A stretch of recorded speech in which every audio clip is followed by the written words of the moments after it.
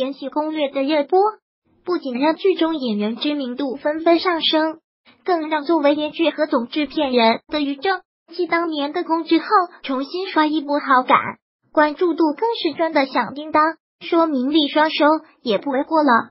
这部《延禧攻略》才宣告破一百亿的好消息，一次于正小号就被曝出。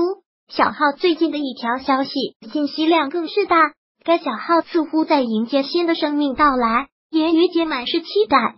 最终在美国时间八月十八日起的意思，但是很多网友疑惑，于正连老婆都没有，却被曝出喜的意思，让吃瓜群众也是猜想连连。到底是于妈妈居然跑到美国代孕了，还是隐婚大众迷？网友根据消息顺藤摸瓜。发现，在演员张嘉倪二胎产子后，张嘉倪对祝福的于正表示看好是成双，但是还没被于正扑出的子毅说，网友对成双的好事纷纷猜想。现在看来，就是《延禧攻略》破一百亿加上喜的贵子了。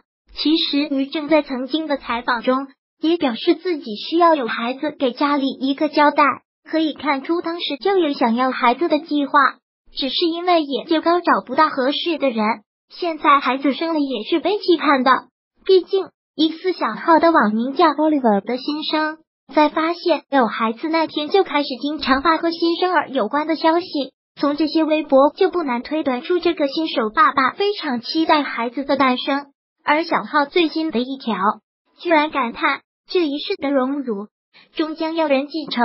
还称自己不能不优雅地老去了衙门，内心简直是上演了一出宫廷大戏，不愧是戏精大女主驴妈。吃瓜群众更是纷纷点头，表示这是听过最矫情的父亲自带，提议完全可以写部自传叫《王的女人之虞姬传》，有点感动，但更多的是搞笑。二零一八可以说是于正人生中最重要的一年了，事业重新回到巅峰。如果生子是真。那人生也跨过单身阶段，人生赢家无疑了，这才是转运锦鲤本人吧。